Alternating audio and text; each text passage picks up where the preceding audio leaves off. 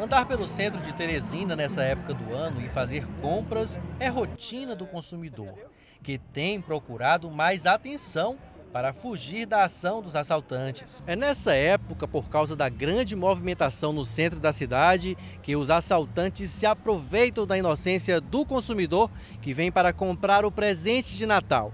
É aí que mora o perigo. Esse consumidor é preciso estar bem atento para fugir dessa ação dos marginais.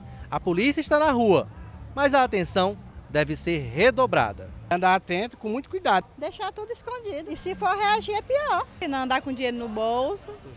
De jeito nenhum, andar normalzinho. Um dos principais alvos são pessoas idosas e mulheres com crianças.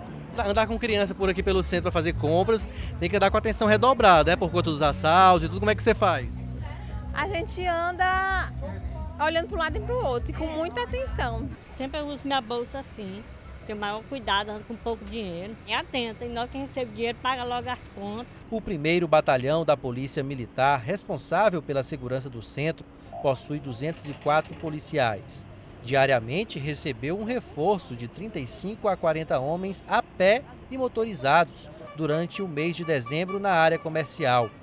Isso tem coibido a criminalidade. Nós temos diariamente o reforço das outras unidades da capital, o BOP, o BPCOM, a Rony, o EPEMON, que é o pessoal montado, o choque, além de alguns policiais que vêm de órgãos administrativos que faz o policiamento a pé.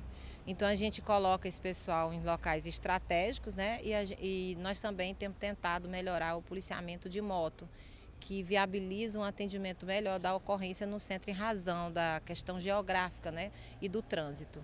Há pessoas que se expõem demais e dão margem para que ocorra assaltos.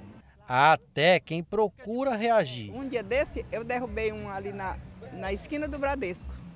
Mas você sabe que reagir é perigoso, né? Não, mas eu, mas eu taquei o sombrinha nele que ele caiu no chão.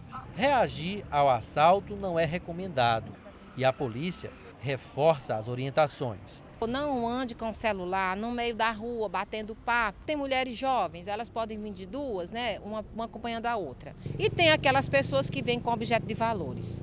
No centro da cidade, no momento que você vem fazer compras, é, não é o momento de você, nem o local de você fazer a amostra desses objetos que você tem de valor, dessas joias, de ostentar.